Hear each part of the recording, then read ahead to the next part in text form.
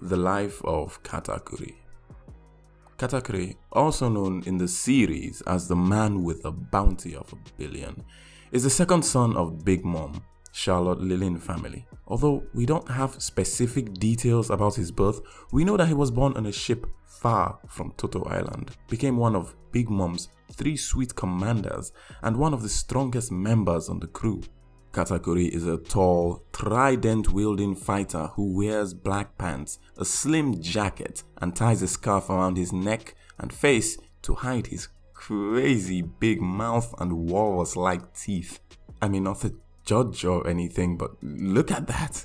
Welcome to Bahanime and in today's video we're gonna be talking about the life of one of Big Mom's commanders, Charlotte Katakuri. So remember to hit that like button, subscribe and you know, don't forget to share. Early life.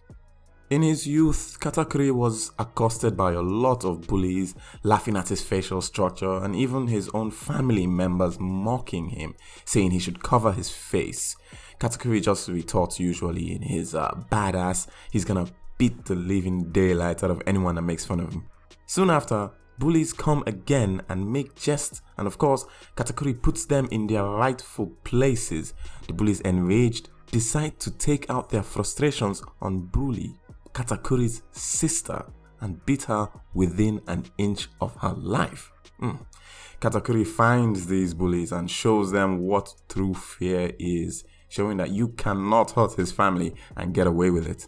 His first appearance was in episode 824 where he's seen walking to the door of the throne room of the legendary Big Mom in anticipation of Sanji's wedding to one of Big Mom's many daughters.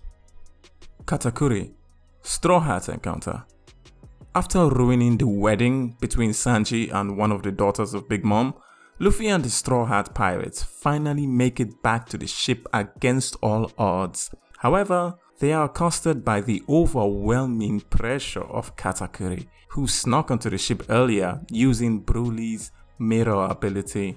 After Luffy is able to drag Katakuri and Broly back into the mirror world, he breaks the mirror that could lead them back and faces Katakuri squarely. Luffy and Katakuri begin what would be a 12 hour battle.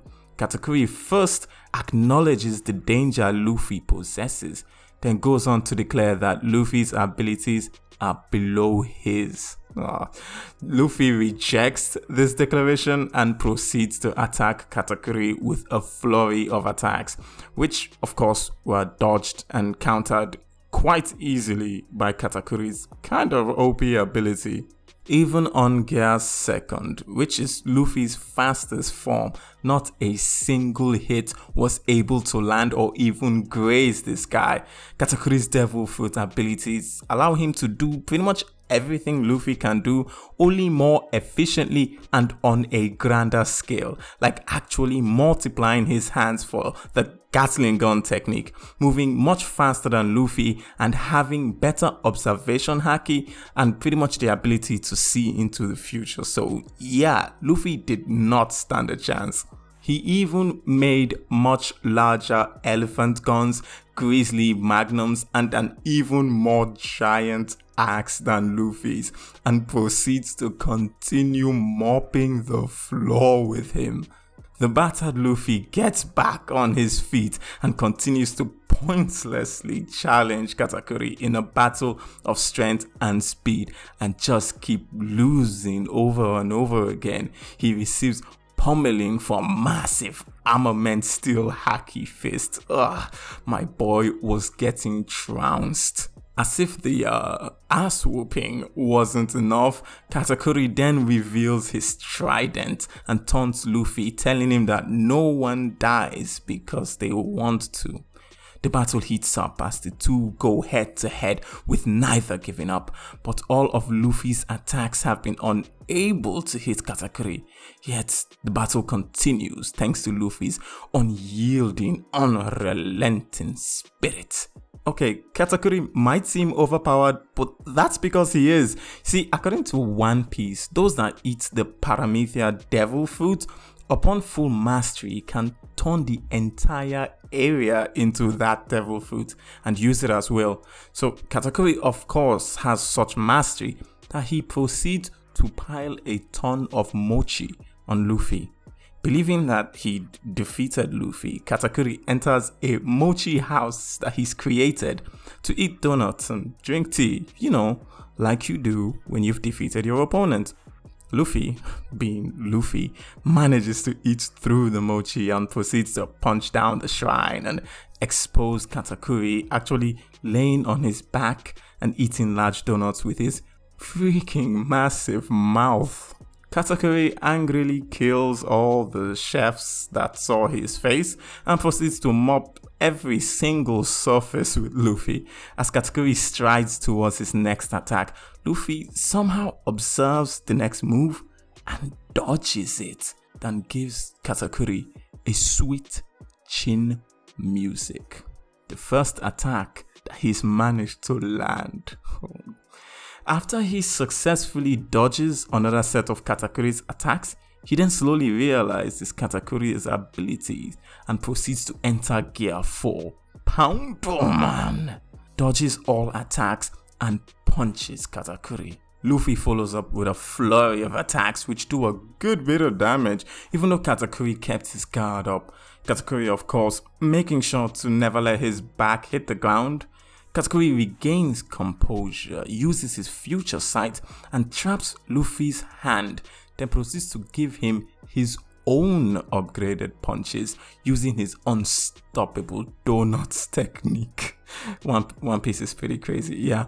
So Luffy eventually loses Gear 4 and tries to avoid Katakuri at all costs as he knows he cannot use Haki for the time being and ends up using Brûlée's ability to enter a mirror and rest and regain himself and his Haki.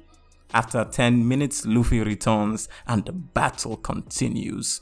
Luffy then tries to intentionally use observation haki, but is, you know, be beaten up and hammered into the wall. He tries again and again, but constantly gets hammered by Katakuri, whose observation haki is way superior, nearly broken, frankly. As Katakuri continues to punish Luffy, Luffy somehow taps into his own observation haki and cleanly dodges one of Katakuri's attacks and counters. Katakuri counters the counter and continues to dominate the battle. Even though Luffy's observation haki senses grow keener, Katakuri still slowly escorts his ass to death's door. After many hours of battle, Katakuri and Luffy finally slow down enough for Luffy to get sniped in the leg by Katakuri's sister, which weakens him, thereby allowing Katakuri to finally land a clean hit on Luffy with Mole, his trident. Katakuri boils in rage that Luffy would literally slip up and fall for his attack out of what he thought was carelessness because he was just finally thinking highly about this man that could withstand all of this beating. That's when Katakuri finds out that his sister had shot a poison needle at Luffy and proceeds to stab himself with his own trident to even the battle. He did not want a dishonorable victory. What is this man? He even removes his scarf and shows his whole face to the world. Mm, now the two injured combatants finally square off for the last time. They use Conqueror's Haki to knock everyone out and proceed to punch and attack each other with all the Haki they can muster. The battle slowly evens up as Luffy catches up to Katakuri's level after loads of flashbacks about his training with Silvers Rayleigh. He finally masters observation haki and impressively dodges very quick consecutive attacks from Katakuri. Katakuri still overwhelms with more attacks than Luffy could land until Luffy finally decides to risk it all with one last move, the first show of Gear 4 Snake Man. In their final exchange, Katakuri's Buzzcut Mochi versus Luffy's King Cobra smack each other and they both get knocked out. They eventually get up. Katakuri realizes the determination in Luffy to become the Pirate King and just falls on his back as he cannot continue the battle. Ding ding ding. I think Luffy just won. And that's not just because of his incredible resilience. You see, Katakuri hits him with a lot of powerful techniques, but Luffy's ability to take punishment is something else, as we've seen over and over again. But on the flip side, Katakuri never gets hit in a fight because of his future sight, but Luffy's superhuman attacks, though much fewer, dealt some very effective damage and he just couldn't handle it.